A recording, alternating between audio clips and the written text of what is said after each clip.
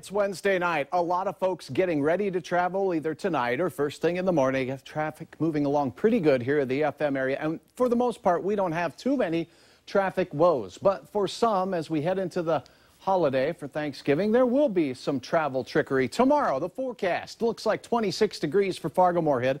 Can't rule out some very light snow. No accumulation here, but certainly we could see some slippery spots on area roads. So travel with care. Here's a look at what's going on right now. This is Becker County, Detroit Lakes. A few snowflakes showing up, especially northern Becker as we head into the evening. And there's also a little activity south of Interstate 94 to the west of the Fargo area in LaMoure County. Southern Barnes County also a little bit showing up there. This is not really adding up too much, but earlier in the day there was a little bit more expansive snowfall in and around Minot and northwestern North Dakota. So if your travels take you anywhere outside of the Red River Valley, be sure to check out our website for the very latest. You can look at our webcam page and take a look at what the road conditions look like or you can get those latest road reports as well.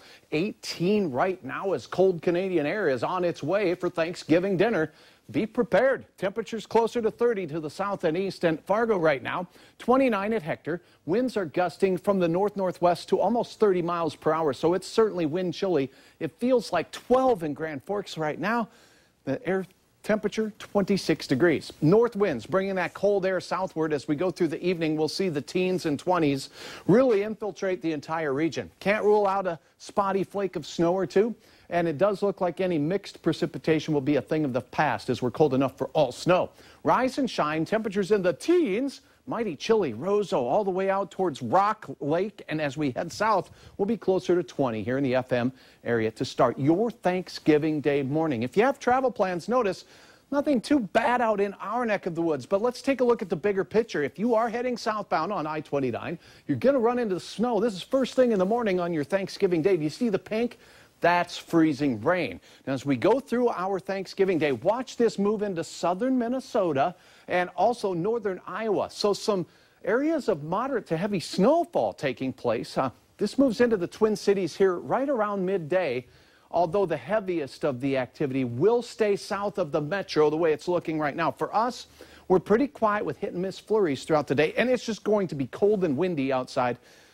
Yeah, nothing better than sitting inside and watching Valley News Live throughout the day to keep updated with the weather for your travels home. Thursday night on Thanksgiving night, we will still see snow and still see freezing drizzle across Iowa with rain moving in towards Chicago and snow in northern Wisconsin. Now, as we take a look, best chance of accumulating snow will be basically southern Minnesota, northern Iowa, and Nebraska, where we could see several inches of snow. And here is accumulating ice, more than a quarter of an inch in spots. So, again, regional travel will be affected. Also, if you're flying into places like Wyoming or the Rockies of Colorado, there'll be some snow impacting travel there. But for Fargo, 20 to start your day. It's just going to be a blustery, windy day outdoors with winds from the north, gusty at times, temperatures peaking only in the mid 20s throughout the afternoon hours, and 100% chance of leftovers as you head into the evening, and that's pretty good. Smooth sailing across the region, as smooth as pumpkin pie. Temperatures in the teens and low 20s, maybe some mid 20s to upper 20s south. Planning forecast for your Black Friday. It will be cold. We'll have several areas in the valley, especially north in the single digits to start out Black Friday, but the warming trend takes hold right away.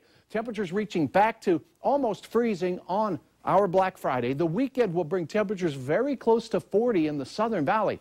Up north, I anticipate temperatures in the upper 20s to low 30s. Your next chance of any precipitation doesn't look too heavy. As we head into next week, we'll have a slight chance on Monday. And it does look like we can bring the turkey with us wherever we go. There, he's got a suitcase and is ready to travel.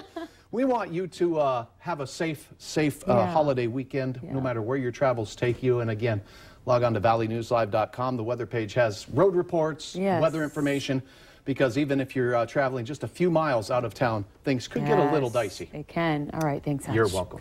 Well, it's a spectacular kickoff to the holiday season, and this year, two local students will be marching to the beat of the Macy's Parade. That is coming up.